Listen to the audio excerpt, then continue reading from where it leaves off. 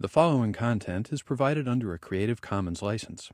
Your support will help MIT OpenCourseware continue to offer high quality educational resources for free. To make a donation or view additional materials from hundreds of MIT courses, visit MIT OpenCourseware at ocw.mit.edu.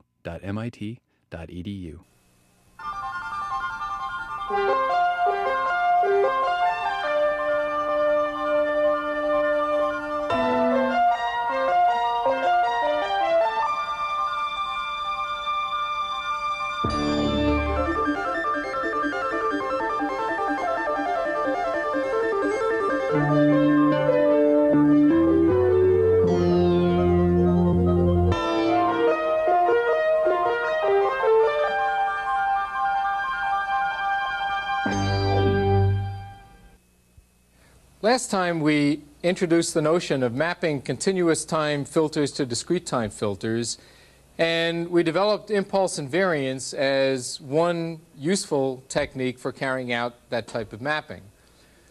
What I'd like to do in this lecture is illustrate impulse invariance as a design procedure in the context of one specific class of filters, namely Butterworth filters, and then following that, we'll proceed on to discuss another very important and useful mapping or design procedure referred to as the bilinear transformation. So to begin, let me just discuss briefly what the class of Butterworth filters is. And specifically, the Butterworth filters are defined through their frequency response or transfer function, and I'm using capital B to denote a Butterworth filter. And by definition, the magnitude squared of the frequency response of a Butterworth filter is given by this expression.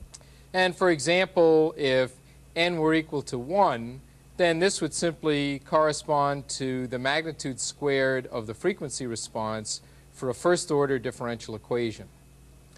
Now, if you look at the frequency response, B of omega, for this class of filters, I've illustrated that below. And what we see is that the frequency response starts at unity because of that's, that's the way that it's normalized.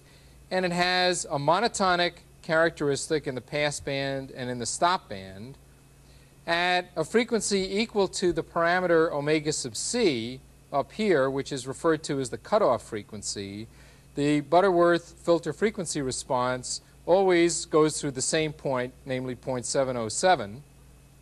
And as the order of the Butterworth filter, capital N, increases, the transition from the pass band to the stop band becomes sharper and sharper. So for higher order filters, then, the frequency response is flatter in the passband and drops off more quickly and attenuates more in the stop band. Now, in designing Butterworth filters, what we will want to look at is the location of the poles of the system function. And we can infer those from our definition of what the frequency response for the Butterworth filter is. In particular, we have this expression for the magnitude squared of the frequency response. And we recognize that, of course, as b of j omega times b of minus j omega. That's what the magnitude squared will be equal to.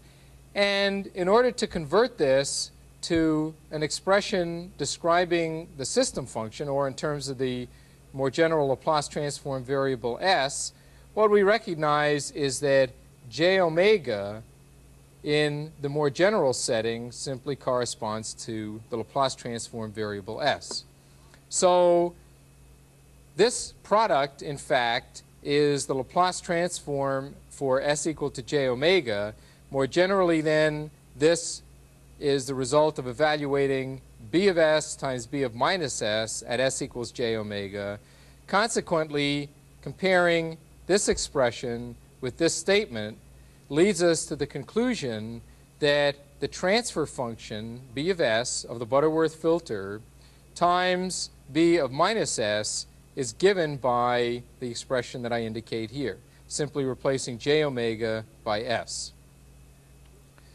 Now, what we want to look at are the poles of B of S. That's what we'll want to get as we design a Butterworth filter. And we can recognize the poles of this product simply by looking at the roots of the denominator polynomial. And those roots are, just taking account of this factor 2n, those roots are at j omega sub c times the 2n roots of minus 1. Those roots, in fact, all lie on a circle, and the consequence of that is that the poles of this expression are on a circle. The circle is of radius omega sub c, and the poles are distributed around the circle. So here I've illustrated the poles of b of s times b of minus s for the specific case where capital N is equal to 3, so there are a total of six poles around this circle. And then for this specific case, the poles are spaced by 60 degrees. Now, we have b of s times b of minus s. To get the system function for the Butterworth filter, we'd like to get b of s. And the question now is how do we get that? Well, the thing to recognize is that wherever this factor has a root, this factor has to have a root at the negative location. So in fact, when we look at these poles, we can pair them with this, for example, associated with b of s, this associated with b of minus s, and likewise we can pair these two together. Likewise, we can pair these two together. And so we can extract b of s from this product simply by taking one pole out of each of those pairs. Now, a question, of course, is out of each pair, which one do we associate with b of s and which do we associate with b of minus s? And the answer drops out fairly simply if we recognize that if we want to design filters that are stable, then b of s, the transfer function that we're designing, must have all its poles in the left half of the s-plane. So in fact, we would associate out of each of these pairs, we would associate the left half plane pole with B of S. And so the transfer function for the Butterworth filter, for this particular case where the parameter, where this designates the parameter omega sub c and capital N is 3, namely a third order Butterworth filter, is this set of pole locations. Given those, of course, we can figure out simply through algebraic means what the transfer function b of s is.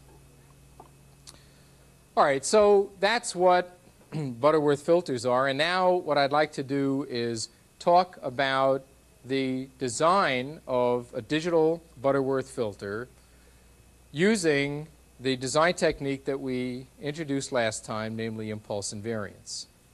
And the context in which I will phrase the design is the context of mapping a continuous time signal to a discrete time signal, carrying out filtering using the discrete time filter that we're designing, and then mapping back. So we're talking about now a discrete time filter that we want to design through impulse invariance from Butterworth filters, from continuous time Butterworth filters, and we're going to get our design specifications in the context of having considered discrete time processing of continuous time signals where we will map from a continuous time signal to a sequence, carry out the filtering with the discrete time filter that we're going to design, and then we will take the resulting filtered output and map it back to the continuous time signal. But this discrete time filter is the one that we're talking about designing. And for a choice of parameter, there's a sampling frequency, of course, involved in this process. And the value that I'll pick for the sampling frequency is 10 kilohertz. Okay, all fairly straightforward so far. And so since we have a sampling rate of 10 kilohertz, we want to first look at our specifications on the desired continuous time filter and then map those to appropriate specifications on the discrete time filter. And what I'll pick for the desired specifications on the continuous time filter is that at 1 kilohertz, I will ask that the continuous time frequency response be down by no more than 1 dB in comparison with its value at omega equals 0. So that, in effect, specifies the behavior in the passband, or the specifications on the passband. And for the stop band, I'll specify that the filter is down by 15 dB by the time we've gotten to 1.5 kilohertz. So we have essentially the beginning of the transition band, the end of the pass band at 1 kilohertz, and the beginning of the stop band at 1.5 kilohertz. And since we're talking about designing a Butterworth filter, we know that the Butterworth filter is monotonic in the pass band and stop band. And so we'll have a filter specification, something as I show here. This represents the allowable pass band tolerance. This is the allowable stop band tolerance. And if I can draw this without uh, getting myself into trouble, essentially we're looking for a filter then that always stays between the specified boundaries here. Now, what we have to figure out is what the corresponding specifications are for the digital filter. And the strategy, let me emphasize, is that we have a situation where we're doing continuous time, discrete time processing of continuous time signals. And we have a set of specifications associated with that. That imposes specifications on our discrete time filter. And then we want to design the discrete time filter using impulse invariance. And that's the discrete time filter that we'll use in the overall system. All right, now we want specifications on the discrete time filter.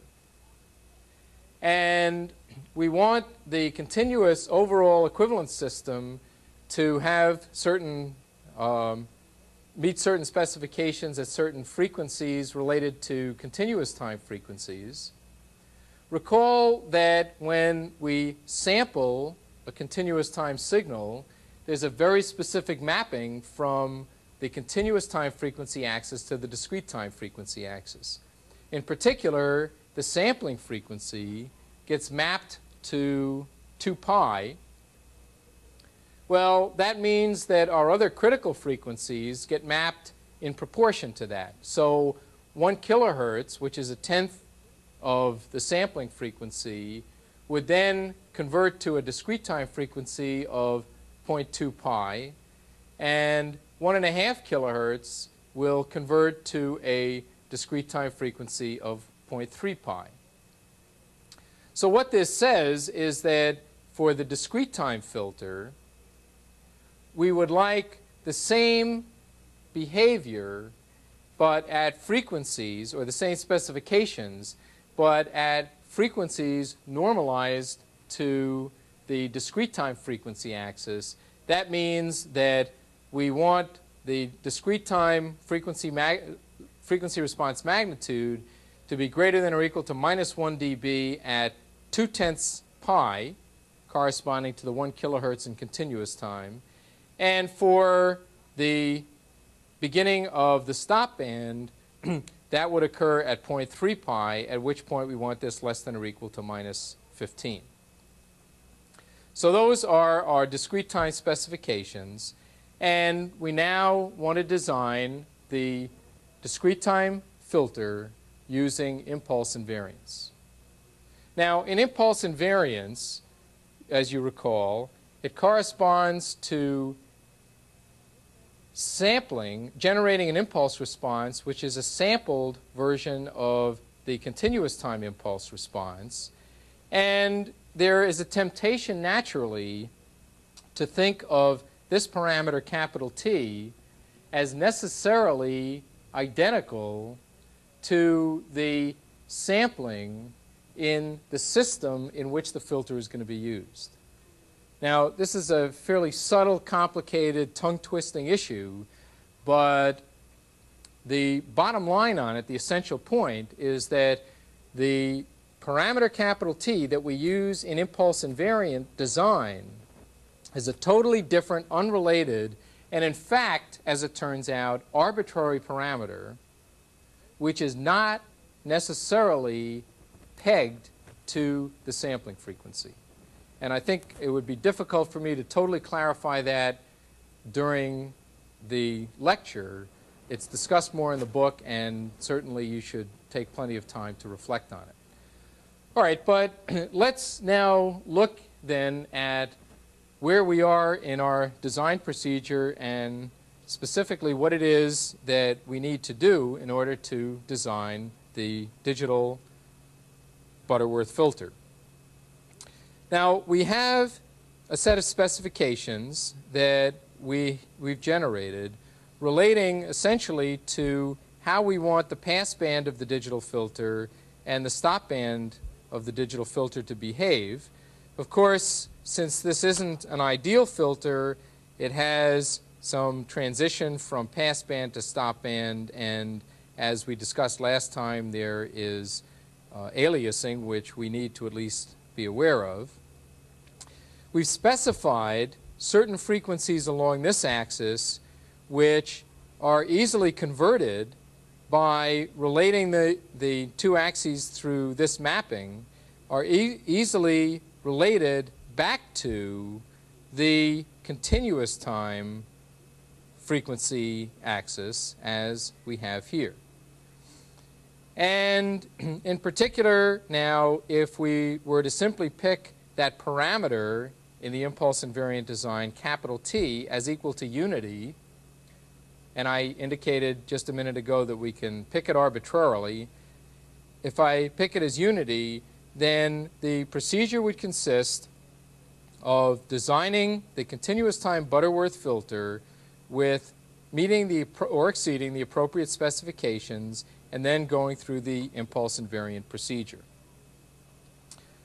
All right, so let's do that then. We want the discrete time impulse response to be the continuous time impulse response sampled. And for convenience, I'm going to pick this parameter capital T equal to 1.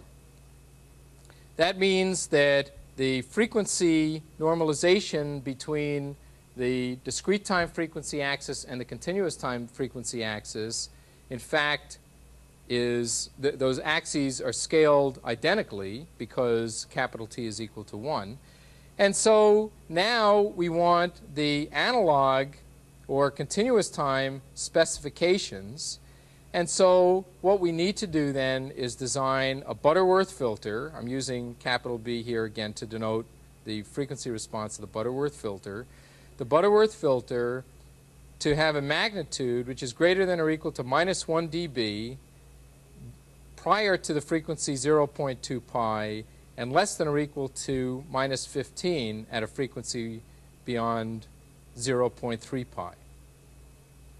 And so now what we need to do is determine capital N and omega sub c in order to meet or exceed those specifications. Now, if you go through the associated algebra in doing that, let's say that you decide that you want to pick capital N and omega sub c to exactly meet those inequalities at the two frequencies 0.2 pi and 0.3 pi, what you'll find after going through the algebra is that they're exactly met if capital N is 5.88 and omega sub c is 0.7047. And this obviously can't, isn't satisfactory as parameters for the Butterworth filter. Why is that? The reason is that capital N isn't an integer. And in the class of Butterworth filters, to generate a rational transfer function, capital N, this parameter, must be an integer. So since it can't be 5.88, the natural thing to do is to move it up to the next closest integer, namely 6. And that means that we'll end up with a filter that does even better than the specifications. On the other hand, there's something kind of underneath the surface that is inherent in the impulse invariant design procedure, namely the fact that there will always be some aliasing. So one strategy, and a natural one often in impulse invariant design, is to choose n as the next highest integer, as I've done, and then choose the parameter omega sub c so that the passband specifications are exactly met and the stopband specifications are then slightly exceeded and that will leave some margin for aliasing. All right, now continuing this example then, how would we complete the design? Well, we know what our two parameters, capital N and omega sub c are, that means that we can determine b of s times b of minus s. Those poles are located on a circle in the complex s-plane. And the poles on that circle are paired, some being associated with b of s and some with b of minus s. And in particular, to determine b of s, we would simply take the poles on the portion of the circle that's in the left half of the S-plane. Now, what that gives us is a Butterworth continuous time filter which we are then mapping through impulse invariance with capital T equal to 1 to a discrete time filter. That discrete time filter to be used in a system which has an associated sampling frequency which is 10 kilohertz. So to get the discrete time filter then, we first determine B of S, as we just did, or uh, at least I indicated how to do it. We would then expand that out in a partial fraction expansion and then apply the impulse invariant procedure which consists of mapping the poles in the S-plane to poles in the Z-plane at locations e to the S sub k capital T, here capital T is equal to 1, and retaining the residue or the coefficients in the expansion. And this then will give us the transfer function for the discrete time filter. So if in fact we did that, then the resulting frequency response that we would get is what I've indicated here. And I indicated first on a magnitude scale, linear magnitude scale, and second on a logarithmic scale.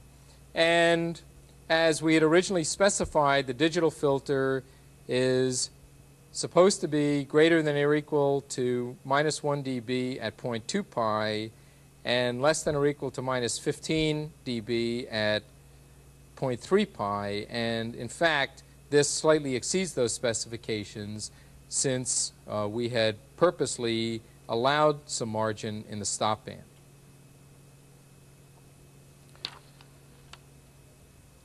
Now, this is an illustration of the impulse invariant procedure. And it has a number of very nice properties, one of which is that it takes a continuous time filter frequency response and it converts it to a discrete time frequency response, which in the absence of aliasing looks identical except for a linear frequency scale change. And in fact, if we pick capital T equal to 1, then there is no scale change. It has the major disadvantage that there is always aliasing. And for some design, for some problems, for example, if the filter that we're trying to design is not band limited or low pass, then the aliasing will naturally become intolerable.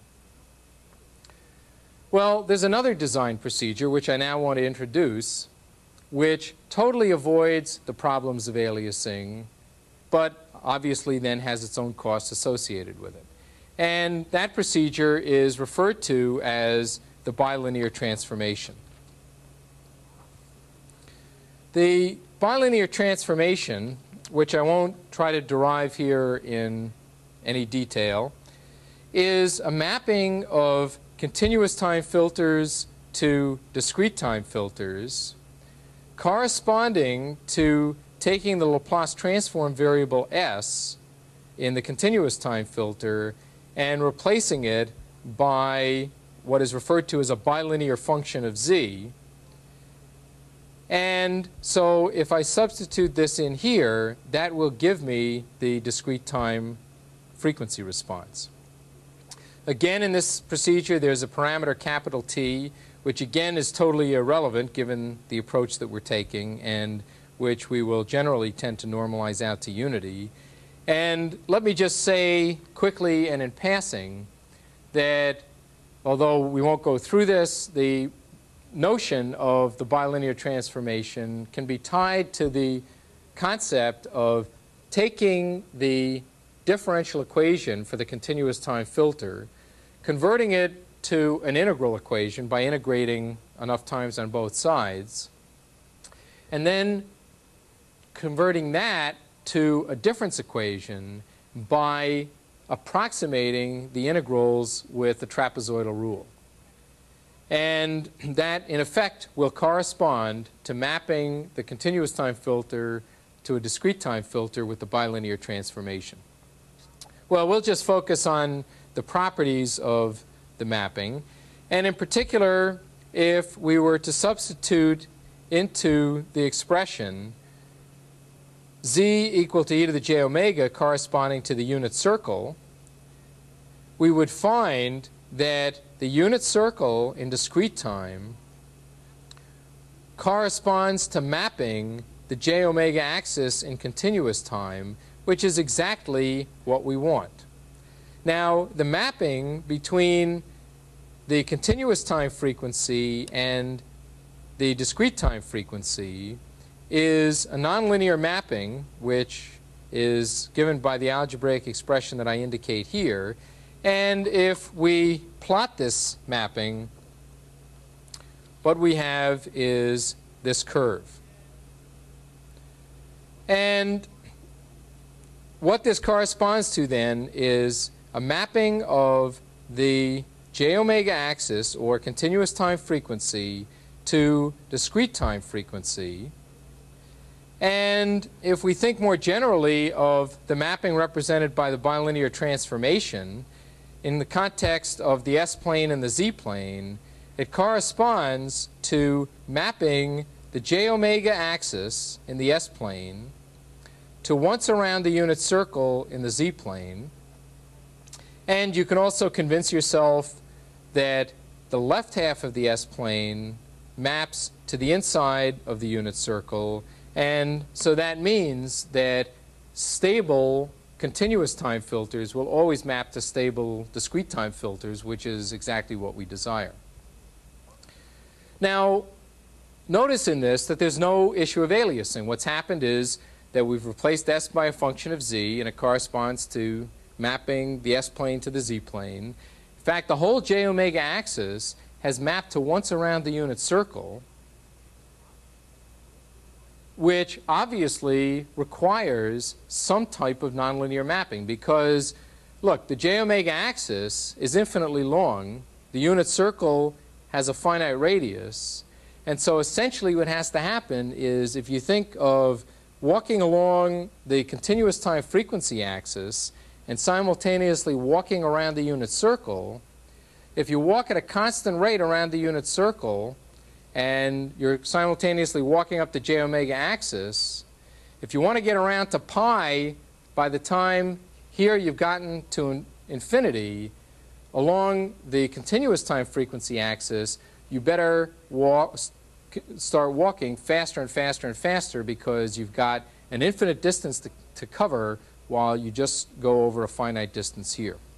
Well, what all that says really is that that's why, in fact, we're taking the entire, or why we're able to take the entire omega axis and just map it into an interval of, uh, of length pi.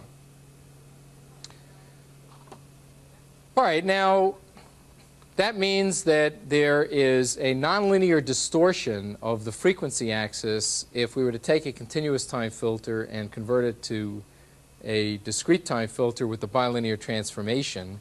How do we account for that, or for that matter, when can we really use it?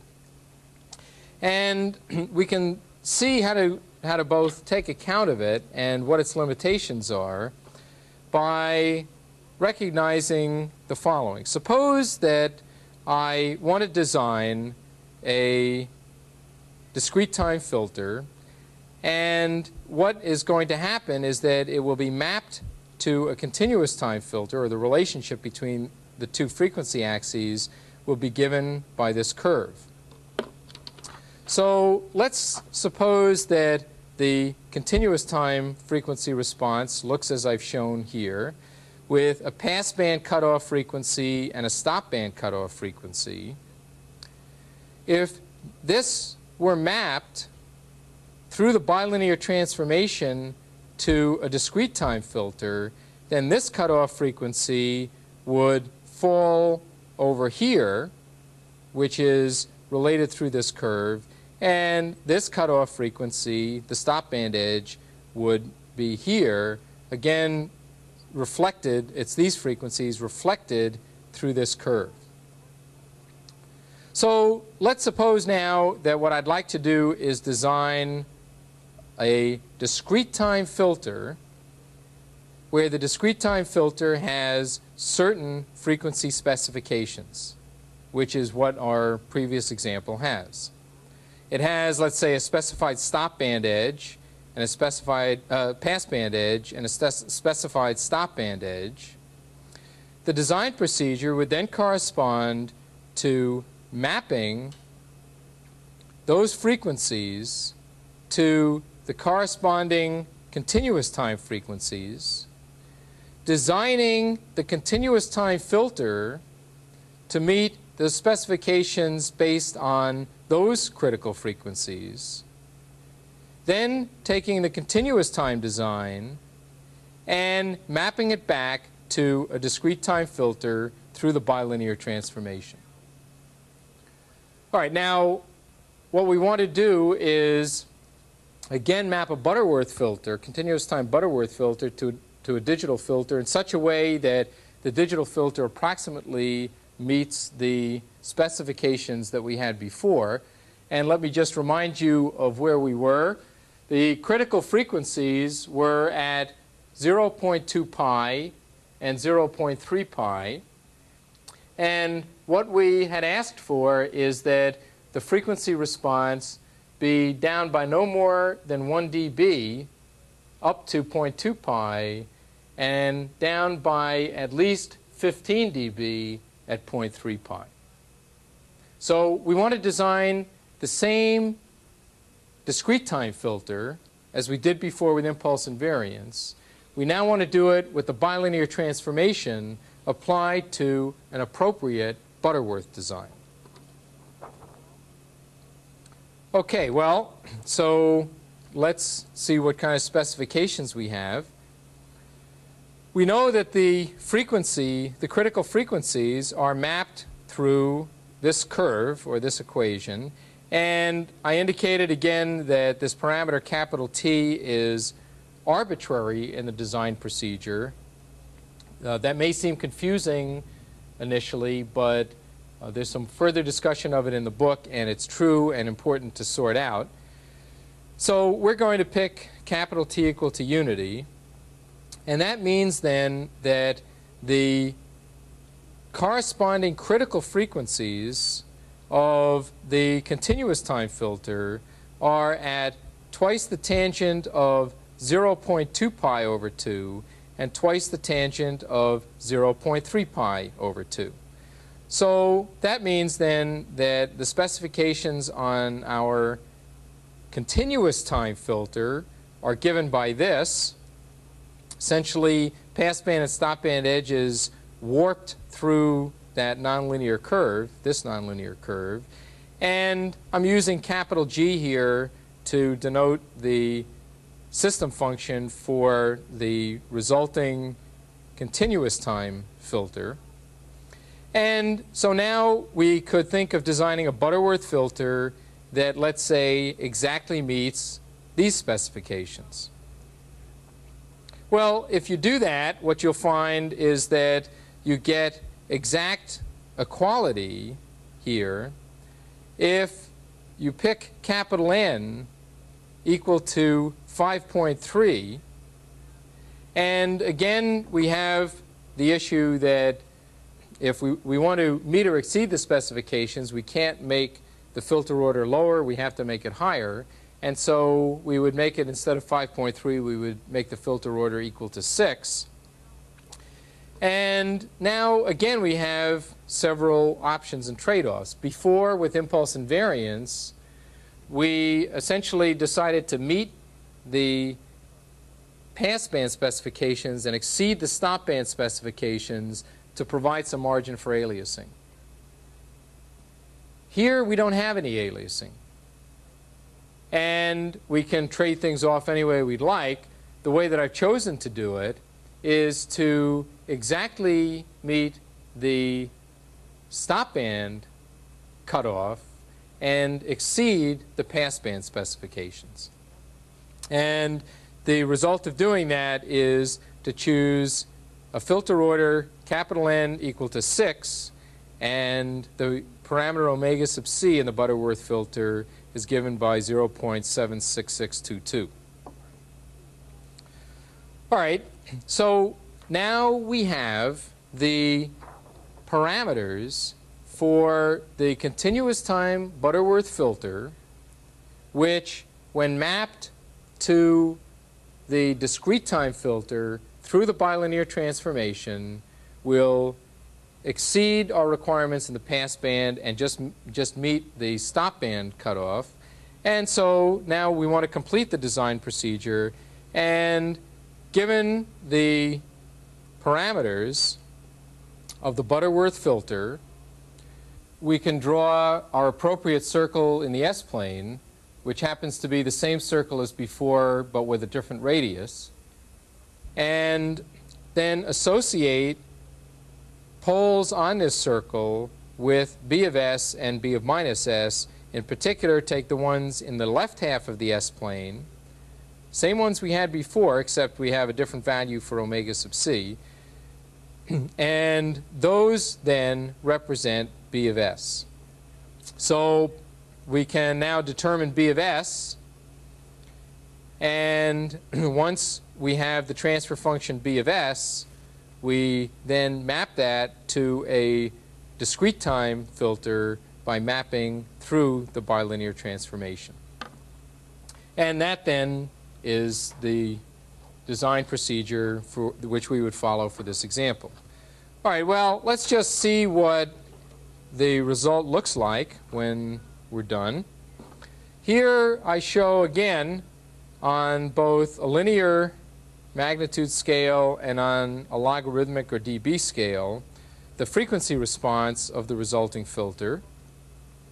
And recall that the specifications were that at 0.2 pi we should be down by no more than 1 dB, and clearly we've exceeded that considerably. And at 0.3 pi, we should be uh, down by at least 15 dB, and we chose the design so that we would exactly meet that edge. So we've met this point and exceeded this point, and this is our design. Now, let's just compare this with the impulse invariant design that we saw a few minutes ago. the impulse invariant design is what I indicate here. The bilinear transformation design is now overlaid on top of it. It's hard to see much difference on a linear magnitude scale, but let's look on a logarithmic scale. And this one that I'm lifting is the bilinear transformation. And this is impulse invariance. And notice, in fact, something very interesting, which is that the, fil the filter that we obtained by mapping the Butterworth filter to a digital filter through the bilinear transformation, in fact, falls off in frequency much more rapidly than the one that we got through impulse invariance. A question is why? Now, one thought that might come to mind is, well, impulse invariance has aliasing. The bilinear transformation doesn't have aliasing. That must be a consequence of aliasing. In fact, that's not the reason. Aliasing, as it turns out in this particular design, is was relatively minimal in the impulse invariant design. The reason has to do with this nonlinear mapping in the bilinear transformation from the continuous time frequency to the discrete time frequency. Keep in mind that through that mapping, as you start walking around the unit circle and moving up the j omega axis, as you move up the j omega axis, you have to move faster and faster and faster and faster. And what's in continuous time frequency at infinity is what you get to in the discrete time frequency by the time you get around to pi. So in fact, what we're looking at is, as, as we look out along this frequency axis, is we're seeing higher and higher and higher frequencies in the continuous time filter. By the time we get to pi, we should in fact be in the continuous time filter equivalently off to infinity, which uh, sounds like a pretty uncomfortable place to be. Okay, now this was a fairly rapid trip through a number of issues, uh, in particular some of the issues associated with the bilinear transformation, and also this issue of uh, how you pick this parameter capital T and how it might be associated with a sampling frequency if you're doing discrete time processing of continuous time signals. And we don't have time to explore some of those issues more fully in this lecture. But I'd like to conclude by making a couple of comments. One comment is that the two techniques that we've talked about, impulse invariance and the bilinear transformation, are the two techniques that are principally used when one thinks of mapping continuous time filters to discrete time filters for whatever application. And I stress again that you may want to do that mapping whether or not the discrete time filter is eventually going to be used for processing continuous time signals. Now, impulse invariance had the characteristic that it, very nice characteristic that, are, that it corresponds to a linear mapping between the two frequency axes, except for the issue of aliasing, and that's a problem with it. And in particular, limits its usefulness to filter designs or for mapping continuous time filters that are band limited. On the other hand, we have the bilinear transformation as a design procedure which totally avoids aliasing but has the disadvantage or difficulty that it represents a nonlinear mapping from the continuous time filter to the discrete time filter. Now, this nonlinear distortion is perfectly acceptable if we're designing or attempting to design filters that have flat frequency characteristics. It's not acceptable if, for example, we had a linear frequency characteristic that we wanted to map to a discrete time filter and end up with a linear frequency characteristic. It won't come out to be linear because of this nonlinear mapping of the frequency axes. Now, There are also a number of other design procedures, which we won't go into, for designing discrete time filters, and uh, among them are a variety of techniques, including, for example, uh, computer-aided design procedures. And I invite you, if um, you're interested and want to dig into that in more detail and more deeply, to explore that topic by uh, making reference to various of the books listed in the bibliography in the text. Thank you.